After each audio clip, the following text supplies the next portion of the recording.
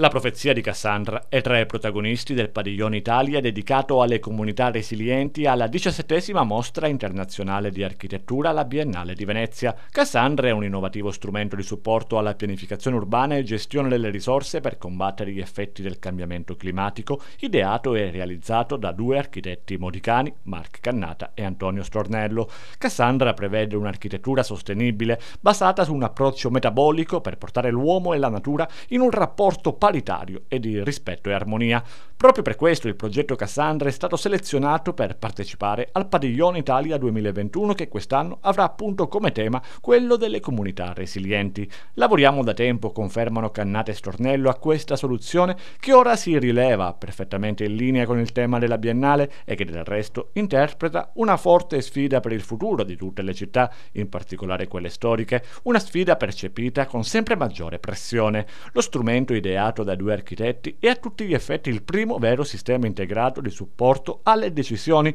pensato e realizzato per dare supporto a chi si è chiamato a pianificare con lungimiranza e visione prospettica lo sviluppo delle città. Cassandra è in grado di fornire una visione completa dell'intero ecosistema, proponendo soluzioni che portino l'ambiente urbano a diventare realmente resiliente ai cambiamenti climatici. Non solo, Cassandra utilizza strumenti di simulazione che considerano una pluralità di parametri parametri che direttamente o indirettamente influenzano la resilienza di un ambiente urbano e la qualità della vita dei suoi abitanti, per esempio acqua, aria, energia, infrastrutture, mobilità, beni culturali e altro ancora. Si tratta pertanto dell'unico progetto che arriva alla Biennale dalla Sicilia tra 15 dei padiglioni Italia ed è l'unico nato da un'iniziativa privata con il patrocinio del comune di Modica. Cannata e Stornello hanno scelto di applicare Cassandra al centro storico di Modica perché presenta una molteplicità di caratteristiche rappresentative di un esteso campione di città storiche di piccole e medie dimensioni nelle aree del Mediterraneo